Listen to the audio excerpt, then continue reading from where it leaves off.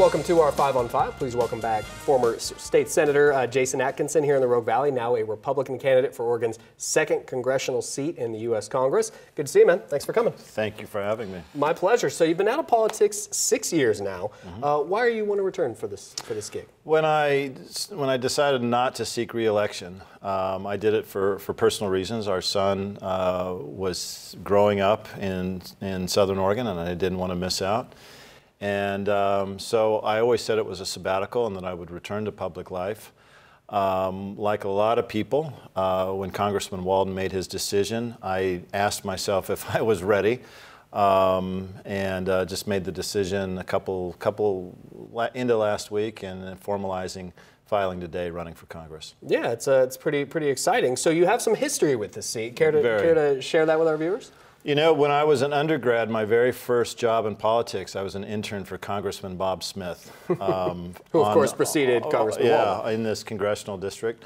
Two years later, um, outspent four to one, and um, I ran uh, for state representative right after I finished uh, my graduate school and uh, won. And then two years later, I was outspent again and won and kept winning and, and served for, for 14 years in public life. And and really put an emphasis on the things I campaigned on that first campaign, which was you know make people proud of of uh, public service. Public service is honorable, and do the very best constituent work you can. And that was you know, then my reputation in the legislature.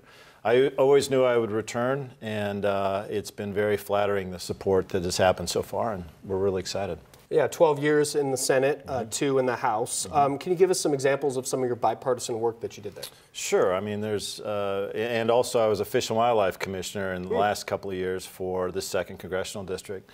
But it, you know, we worked on all kinds of things. I worked certainly on tax policy, um, trying to get capital gains taxes reduced in Oregon. Capital Oregon, Oregon is very high. Uh, we worked tirelessly on uh, issues regarding meth and methamphetamine and people's addiction. I worked very hard on mental health issues and trying to get mental health services for folks both in rural Oregon and and in urban Oregon. I think some of the things that I that I crossed the line on, I worked very closely with members uh, of the Democratic Party uh, to get things done like restoration of the Capitol uh, higher ed funding, moving, uh, moving to what we have now for Southern Oregon and, uh, and OIT, which is an entrepreneurial model. So I'm very, I'm very, uh, I'm very happy with what I did. In fact, um, serving in the, I served in the majority, and I served in the minority, and I served in a, a joint uh, split Senate at one, one session. And I was just as successful in the majority as I was in the minority just because of the relationship nature of getting things done for folks. Okay, we're going to take a quick commercial break. Much more in just a moment. Stay with us.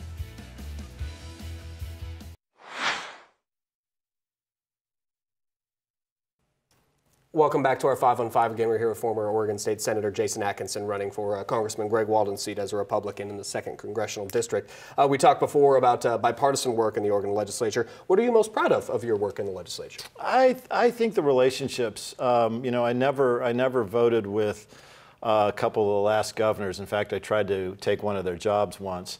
But I worked, I worked very closely with them. I, I, think, I think the, the work that I'm most bipartisan most proud of is the work that, that we did with the movie A River Between Us. So when I took a sabbatical from public life, I devoted myself to getting a very large issue uh, resolved in what ends up being the second congressional district and uh, putting it on the map for the Obama White House. And, and we had a very strong team, very much like we've got on, on this campaign, and I'm very proud of it. I was going to ask about that. How, how will that impact your policy if you're elected to this position? Well, I think some people will hate it, some people will support it. You know, I mean that's public life. Um, you don't you don't you don't make everybody happy, but I'm, you know, it certainly gives us um, a leg up and, and an understanding. I think the thing for us that is is unique is that you know, I've proven to win elections and proven to run a campaign that very few people have. I've got a member of the former member of the Trump campaign coming to join the can to join this effort, and we'll be very successful. We're doing well in D.C.,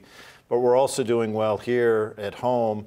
And uh, people have called from counties all over Oregon. There's 20 counties in this congressional district, and I was just on the phone with friends this morning in Lake County, uh, Deschutes County, uh, Union County, Wallowa County, and Umatilla all this morning. So, you know, we're gonna, we're, I, I think it'll surprise a lot of people just how much work I've been doing over the years uh, just because I love some folks. And in fact, my last book that I wrote was about the second congressional district. Not at all thinking I was running for Congress. It's just I love love these folks.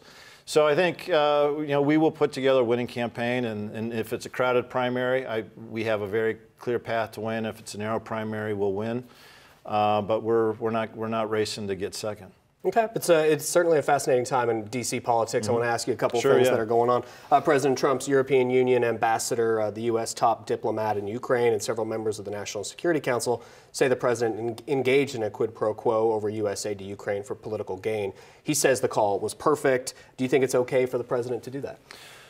You know, it's it's. Yeah, I'm jumping right into the lion's den. I Sure. I, I think that a lot of what the president's done was is probably his own making. I think uh, from what I've seen, um, it doesn't look good. But I don't think I don't. I think on the very thin line, he won't get. Uh, he didn't do anything wrong. I do think he'll end up getting impeached, and I do think he'll get reelected. And um, I need to be in position to to work with, you know, the president for the last four years of his term.